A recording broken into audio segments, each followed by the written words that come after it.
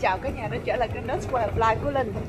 Đây là chuyến hành trình đầu tiên trong cuộc đời của Linh à, Đi đến một cái thành phố khác và đi một mình.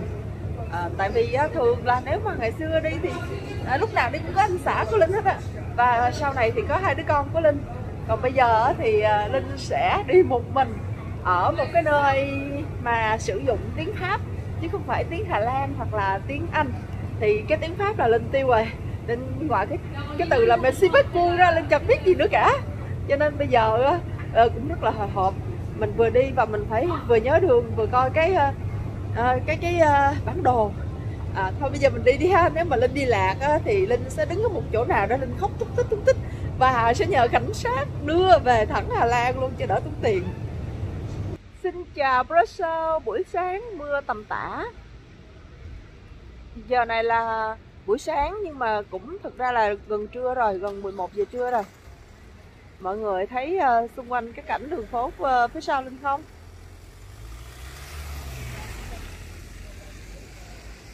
Nói chung là tại vì Linh phải đưa cái mặt lên vào cho mọi người xem.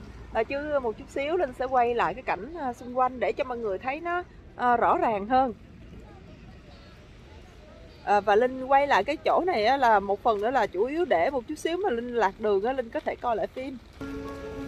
Đây là trung tâm uh, Brussels một trong những thủ phủ của châu Âu. À, linh uh, chưa có đọc kỹ càng về cái luật nhưng mà linh nghe nói là cứ một tháng thì uh, ở Brussels sẽ trở thành thủ phủ của châu Âu và sau một tháng thì sẽ là Luxembourg. Nói chung là mình uh, uh, chưa có tìm hiểu về chính trị cho nên uh, chỉ nói uh, sơ sơ cho mọi người biết thôi. Hiện tại bây giờ thì mưa. Nếu mọi người xem cái clip mà Linh đi chơi buổi tối ở Brussels á, thì à, mọi người đã thấy là cái khu vực này à, Linh à, đã quay cho mọi người vào ban đêm rồi. Bây giờ thì bắt đầu mình lang thang đi à, vào buổi sáng. Đi tới chiều luôn nha cả nhà. Cả nhà sẽ tiếp tục hành trình với Linh đi tham quan cái trung tâm và cái thủ đô của thành phố ở Bỉ.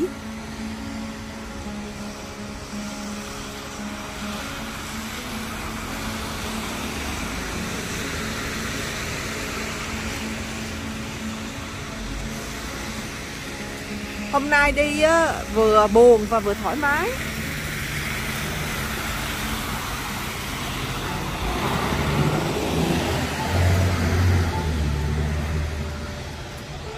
buồn là vì không có chồng có con đi bên cạnh. Mỗi lần đi chơi thì có chồng có con thì sẽ nghe tiếng ờ, léo nhéo của con rồi tiếng cười của con rồi tiếng hướng dẫn của chồng. Còn bây giờ thì à, mình đi một mình thôi ờ, à, không có ai hết. À, hơi buồn. Nhưng mà cũng thoải mái là tại vì à, linh sẽ quay cho mọi người coi những cái thước phim chậm rãi hơn không có vội vàng.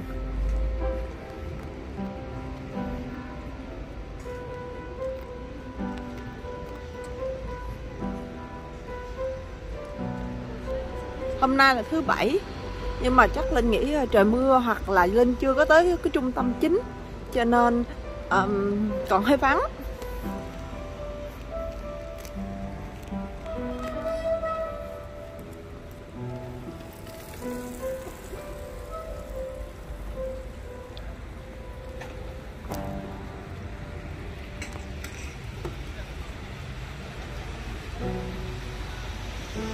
Chưa thấy những cái tòa nhà cổ hết cả nhà hả?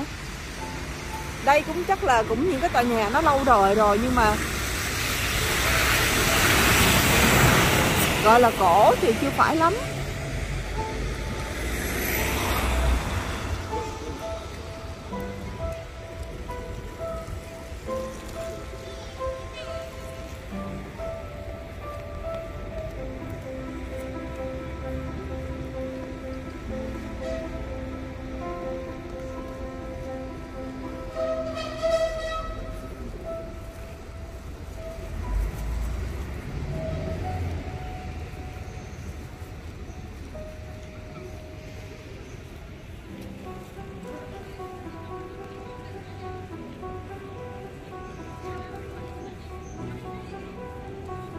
Linh đi chính giữa đường. Mà linh cầm máy linh quay rồi, rồi linh thấy người ta đạp xe đạp. Không cẩn thận là người ta đụng rầm vào luôn.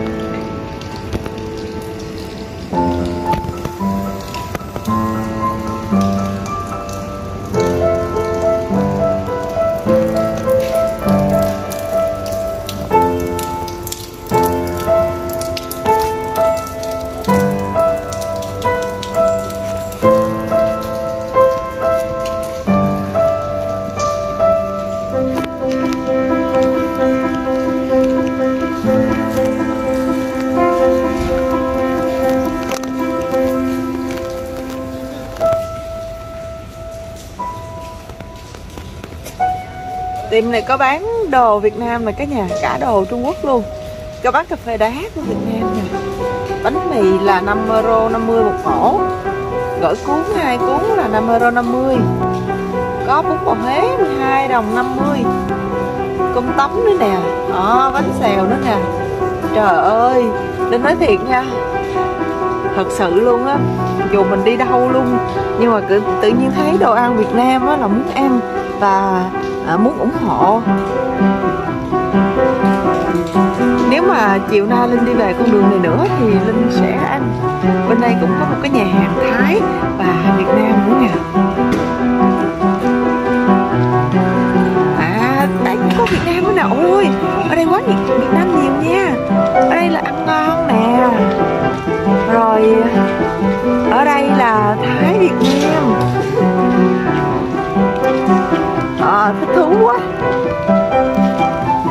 Thì đi đến cái chỗ khác thì Linh muốn ăn cái ờ, thức ăn của cái ờ, đặc sản của cái nước đó. À, và nhưng mà vẫn phải ăn cái đồ của Việt Nam. Đây là tiệm của người Việt.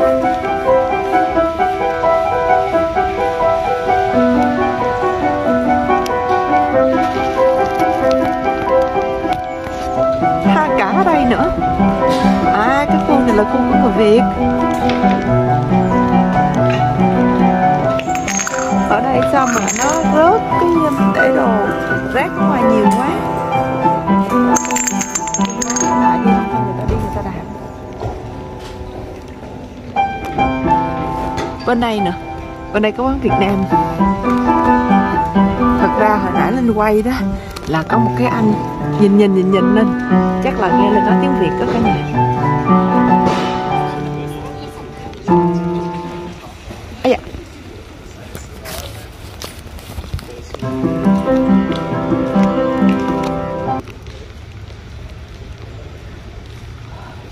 Bây giờ mình đi đâu ta? Đi đường này đi. Thấy đường này nó rộng rộng hơn là cứ đi.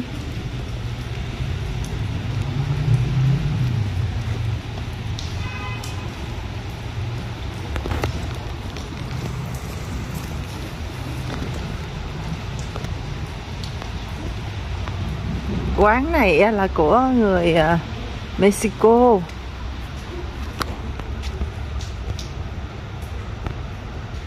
Chút xíu là Linh sẽ khám phá ẩm thực.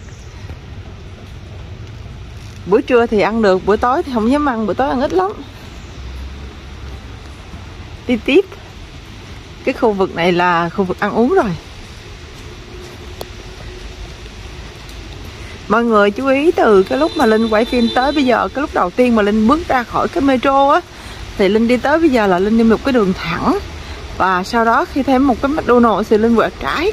Thì sẽ vào cái khu vực này nha cả nhà.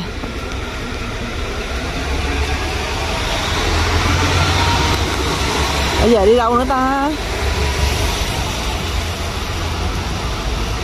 Bây giờ để Linh dừng máy đi. Linh ờ, sẽ đi tìm đường tiếp. Nãy giờ Linh mới bắt đầu giới thiệu về Bỉ.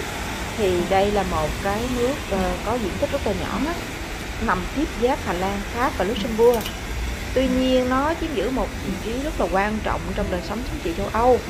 Tài nguyên ở đây thì không có phong phú, Tuy nhiên cái ngành luyện kim thì rất là tiên tiến Và gần như là đứng đầu, một trong những nước đứng đầu thế giới về ngành à, sản xuất gang thép.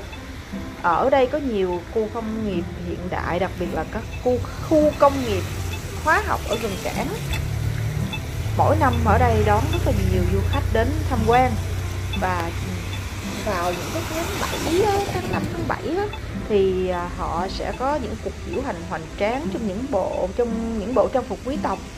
À, rồi có những cái kiến trúc nghệ thuật cổ xưa rất là à, vừa hài hòa cổ xưa vừa hiện đại rất là ấn tượng. Giờ thì mình à, đi qua đường coi nó như thế nào nha cả nhà. Nếu mà mình có thời gian thì mình sẽ khám phá cái khu châu Âu thu nhỏ ở công viên Brussels ở đây thì có khoảng hơn 300.000 mô hình thành danh lam thắng cảnh tiêu biểu của hơn 10 nước châu Âu. Vào mùa hè thì ở cái thành phố này nó rất cực rỡ thì giống như các thành phố châu Âu khác thôi.